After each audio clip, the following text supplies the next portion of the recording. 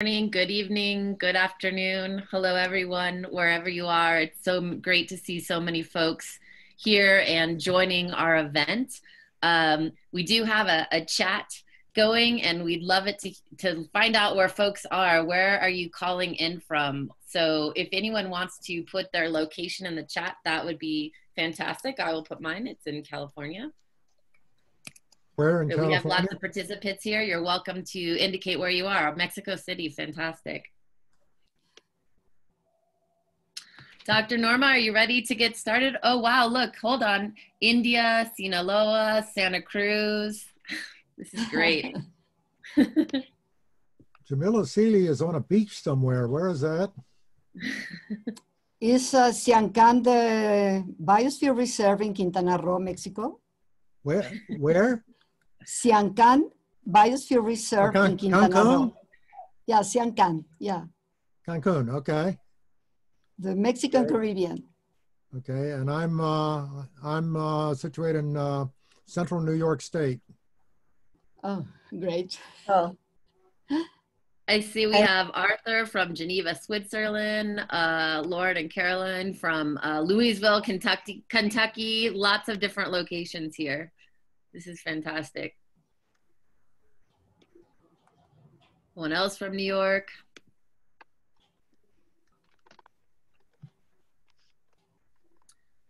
Norma, should we get started? Yes, I'm ready. Okay. Okay. Feel well, free. good morning. Yeah, thank you very much, uh, Ms. Marisa uh, Lopez. Good morning, everyone. My name is Norma Munoz. I'm from Mexico.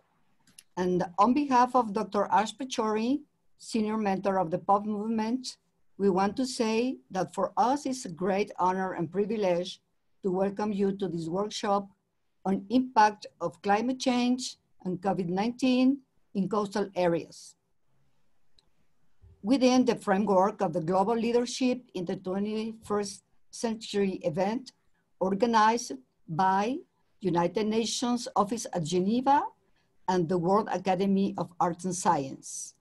Thank you very much for your valuable participation and contribution with this meeting. In very short words, welcome everyone. Thank you, Marisa. I give you the floor, please. Excellent. Thank you so much, uh, Dr. Norma. It's so great to see you. Um, and it's fun. Every, anyone who's just joining, please feel free to put your location in the chat. It's so fun to see where everybody is calling it in from. So we are so excited to be here. Uh, we only have an hour for this really important session, and we have a lot to cover. So I wanted to quickly go through the agenda with with everybody on this call. All the participants, thank you so much for calling in. Um, you are all very important in this session. This is a very interactive uh, conversation that we are going to be having here, and it's very important to to the survival of our world, frankly. So thank you so much for being here. Uh, Dr. Norma, that was a fantastic introduction. It's great to have you. Um, we will very soon uh, be breaking out into breakout rooms for about 30 minutes. And so everybody here on this call is going to be part of one of three breakout rooms, and we're going to provide some instructions about that in just a minute. The three breakout rooms will be about, we will be discussing, uh, everyone will be discussing three different topics. So everyone needs to choose which topic they would like to participate in. The first topic is about youth leadership, uh, specifically, of course, uh, related to coastal areas um, and the impact of COVID 19 on these areas. Uh, we'll also be talking specifically about coastal communities. Um, so, not specific to youth leadership, but co- impacts of coastal communities and solutions there. And then the third breakout room will be on the blue economy and blue ecology. And we have some great experts in each room. After the 30 minutes, uh, we're going to jump back into the call and report back to the group um, about what we discussed. And then we're going to have some final remarks. Um, each group is going to have a facil- two facilitators um, from the planning team as well as uh, note takers. So everyone's going to be very well supported. So right now, we'd like to ask all the participants on the call to please um, indicate in your Zoom name which session you would like to participate in. So if you uh, if you go to the Zoom, that you're in in the plant panel um, and you click on go participants. So you should be able to click on this, um, this icon here. Find your name. So the example here is Anna Hanhaussen. Um, and Anna, if I'm not saying any of this correctly, feel free to let me know. Um, click on the more button, click on rename. and then what we want you to do is when you're renaming, please add either which session you would like to participate in. So whether it's youth, um, coastal communities, you could just put coastal, or uh, the third is the blue economy. so you could put blue economy or just blue somewhere in your name to help the organizers know which of the three breakout rooms that you would like to participate in. If any of that is not clear, um, you're welcome to uh, put a message in the chat if you need any help with the instructions. Um, but otherwise, I'd it'd be great if everybody just goes ahead and makes that label now. Anna, do you have anything to add there? Was that set a direction? No, I think that was really clear. Yeah, thank okay, you. Okay, great. Um, well, I don't know about everybody else's experiences, but uh, I, my group, uh, the half hour flew by very, very quickly. So that was, um, it always sounds like a long time, and then it is, it just really isn't. So I'm going to thank you everyone for participating. I am going to go ahead and just post. what we're going to do is take a few minutes and allow each of the groups to um, report back. So okay. we will start with the youth leaders, and I'm just going to share the questions that they were discussing and what the objective is. And then I would like to, uh, again, we're going to go through each of the groups, but I would like to ask the representative from the youth leaders uh, to go ahead and report back to this group about what you learned and what sort of, if you had a transformative action that you would like to share with the group. And Anna and Summer, you'll have to let us know who the, the reporter is. Hi, uh, this is Salomon from Mexico, I think. Uh, I'm gonna start, and if, if someone else has something to say, they'll just jump in. Um, but I guess, um, you know, just to summarize what on the some topics that we touched during the conversation, uh, we we I think we uh, emphasized four points, four main points. Uh, the first one would would be education. Uh, pretty much all of us talked about how important educating people in the coastal areas is, uh, just to make them understand that it's not only something we wanna we want to improve just because, but just all the benefits that will uh, will attract to their community and society. You know, just like uh, you know, well, getting involved into these um, environment and coastal problems. So the, the first one would be education, you know, working with schools, working with uh, universities, just with, or just with, you know, the government itself. Um, with that, the sec, you know, we lead to the second point, which is uh, maybe possibly creating workshops or groups or classes in those schools and, and universities that will you know wake the uh, uh, will make people curious you know and just how they can work and help uh, the environment so universities and schools are very important places to start that conversation um, the third point we, we talked about was attracting uh, working to attract investment and working with governments to change legislations and it's we know it's not easy, but I think that way we can have a big impact on, or, or a bigger impact than just uh, creating a small group.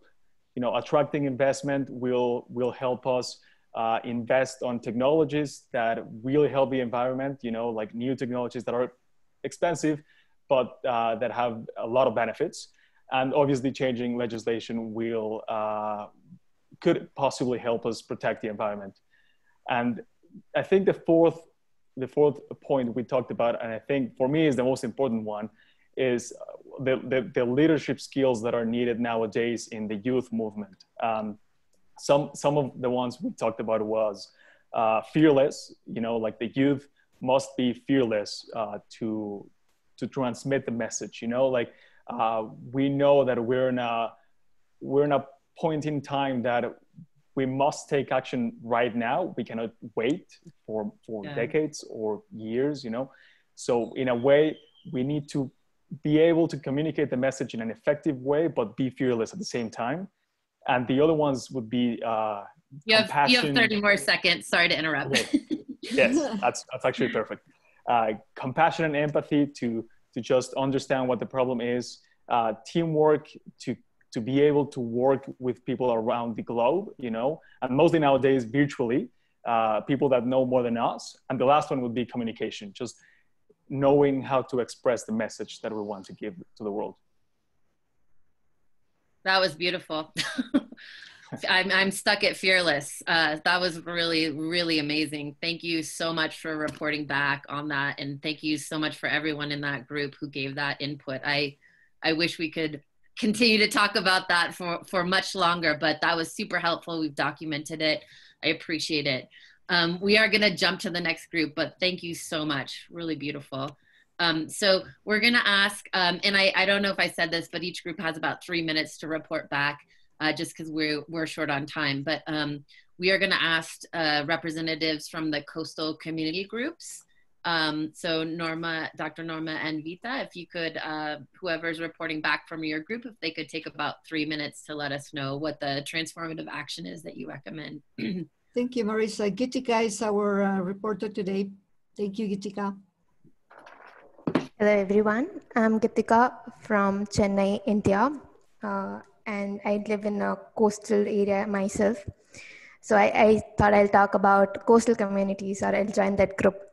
Um, I think uh, the, the most uh, common problem that coastal communities face uh, is the natural disaster which is happening because of climate change and even now during this covid situation because uh, there are a, a lot of uh, people uh, living in the coastal areas who depend on on the, on the jobs related to oceans like surfing fishing and, and, and so on. Um, and they don't have jobs right now because of covid. So the uh, solutions that we came up uh, with are, uh, are at, like kind of two phased uh, one is that we need to solve the problem that is at hand like trying to find jobs or trying to provide food secu- security and shelter security to the people who are affected. And this they can do it by themselves. We don't uh, need leaders from outside alone. Uh, i think communities can act as uh, as as leaders. Like everyone in the community can act as leader. Everyone can help each other out and try to cope up with the situation for example if if someone is running a hotel that person can definitely still provide shelter to homeless people and uh, and in turn these homeless people could try to maintain the hotel. Since tourism is also affected these hotels must anyways not be running. So this could be a good way to cope up and help each other out. Uh, and also like we should uh, educate these people to be uh, prepared for any disaster. And again this is something that that could be taught by people from uh, from outside but again as a community they have to take a stand for themselves and fight against any natural disaster that comes comes to them. Uh, also like internet is a good help right now. They can learn from other communities how they are sustaining and they can inculcate those uh, good uh, good good techniques and try to save themselves and uh, another part of the solution is how to avoid these problems or how to reduce uh, these, these problems in the future. Uh, it could be done by adopting eco-friendly ways, uh, like uh, like a lot of these coastal areas are hot tourist spots. So maybe they can adopt uh, eco-friendly techniques, like eh, as basic as just avoiding plastic and this would also help spread awareness among the tourists who are coming there and it'll naturally just help them to maintain uh, the uh, the the cleanliness of the coastal areas and uh, uh, and thank you. You have a couple. Do you mind taking 30 seconds to summarize? I apologize for cutting you yeah off. but sure yeah. uh, that that should Yeah. be good that should be good and Mhm. also we should um, also allow some time for these uh, regions to re- to recover the natural resources by themselves i mean we shouldn't just uh, avoid a couple of months uh, of tourism in these spaces so that the natural resources could just recover uh, by themselves. And that way we'll try to maintain a, a proper ecological balance and a good economy uh, in the long term. I think that's what we discussed. Thank you so much. That was an amazing summary. And uh, just having heard the report back from your session as well as the first session, I'm thinking about what we talked in the Blue Economy session, and there's some very interesting common themes that are being discussed in all of these sessions. So this is really incredible to hear. I'm sure everyone else is hearing it as well. Okay, so from again, and we could continue this conversation for a very long time, but from the Blue Economy and Blue Ecology session, uh, we we had an amazing conversation, and I would like to ask Arthur to please report back um, in about three minutes to this group. Well, our focus again was on education because it was important that communities be empowered to understand their own sustainability and control their own actions at the local level.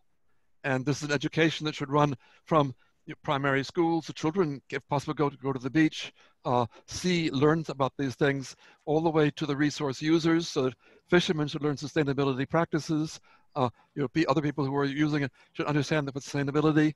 We also had a case where government itself didn't know what a blue economy was about and sustainability.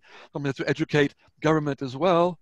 Uh, ideally, you would want to train up some scientists, marine scientists in your local community who could actually be doing the research and the monitoring, reporting back regularly and keep the flow of information so that community can adjust its own behavior and its use of resources to keep them sustainable. Uh, we had an example in the Marshall Islands, but this is already already being done. And, and therefore, all of these things are elements of empowering the community to take more responsibility to themselves and to be certain that they're really taking their whole community we also saw the needs with, with sea level rise, communities have to learn how to retreat successfully. They can no longer plan to stay where they are. Is, we know this is coming, educating them to understand what to give up, how to adapt, and how to make certain there's some solidarity as they go through that moving process. Uh, there are often deprived communities who don't have easy access. Education should allow them also to understand those resources and to be able to you see their need for them as not just the rich who live on the beaches who should be empowered in this way. Everybody in the community needs to be involved as part of also of justice, which is part of sustainability. So I think is a quick summary of what was a very interesting reflection from a variety of people, you know, from from islands and uh, Monterey and all over the world. Yes. Thank you so much, Arthur. There's so much to talk about, and um, lack of equity and uh, access to actual experiencing the coast and the ocean did come up in our conversation and it would have been nice to have more time to sort of expound on that. But i really appreciate everyone's feedback. This is um, i think we've come up with some really great information and i really appreciate the note takers and everyone who has participated in this um, fantastic conversations and in a very short period of time. I think we were able to really surface some very poignant and very important points. And I, I hope everybody actually learned a lot during this session. Um, so we, we do, would like to go ahead and close up uh, so quickly. And I wanted to ask uh, the, the fantastic Dr. Ash Pachauri to please uh, go ahead and make some closing remarks in the last few minutes. And uh, before you do so, everyone, please note that we are going to be uh, Komal, could you please uh, post? We have a some follow up information that we'll post in the chat as well. So with that, I'd like to hand over the closing to you, Ash. Thank you. Thank you so much. Uh, I do want to uh, acknowledge that uh, in a very short period of time, some very uh, substantive outputs, uh, thoughts, and and ideas were generated. Um, and, and, and taking those forward, I would like to say that one of the things with the POP movement, where POP stands for Protect Our Planet, and also its sister organization, which is the World Sustainable Development Forum, also called the WSDF. We'll drop links to both organizations' websites in the chat here. Uh, we, we are focused on uh, a couple of things that I think actually align very closely with the issues that were emerged from all three groups and particularly the important action and solutions. One is that uh, we're focused on the science and certainly on generating important discussion, deliberation, and dialogue, but following it up with action. And uh, both organizations, one is a grassroots uh, youth-led organization where young people take action to address the issue um, of, of uh, marine conservation and, and, and the ocean, but also other issues related to protecting our planet. And the other organization, which is the World Sustainable Development Forum, is the flip side of that, of that coin, where we uh, work with policy uh, decisions and also with leaders from across different stakeholder fields so that we can really affect change across every sphere uh, of society. And so young people being leaders of today and tomorrow are very important constituent for the World Sustainable Development Forum as well. And I'd like to say we, in fact, our tagline for the POP movement is youth inspired by knowledge because we're founded on the science of climate change. And therefore, education is a critical component of this. And I'd like to say that one of the uh, follow-ups, very st- strong uh, and tangible follow-ups that we foresee from this discussion, in addition to additional discussions and con- continued collaboration, is educational programs. And we're hoping to be able to address issues where we engage youth, uh, but also very importantly, community led responses to address the issue of um, you know the oceans and the blue economy and blue ecology. I will request someone also if you may just drop the link to the world uh, to the pop ocean initiative within the chat over here i'd request you to please uh, visit that page. There's a link where where you can sign up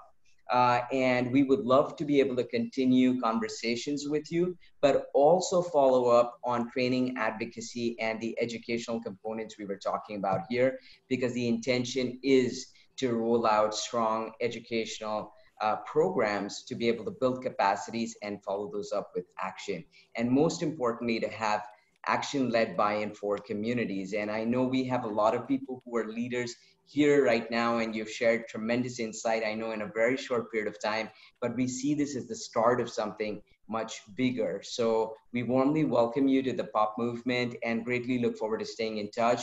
If you don't already have your contacts i request you to please share them. And do use the link to to to sign up if you uh, would please. And we'd love an opportunity to continue talking to you we do work with youth uh, and every stakeholder, researchers, um, and global leaders at, in different spheres in order to be able to affect the change. So thank you very much once again. And with that, I'd like to hand back to Marisa.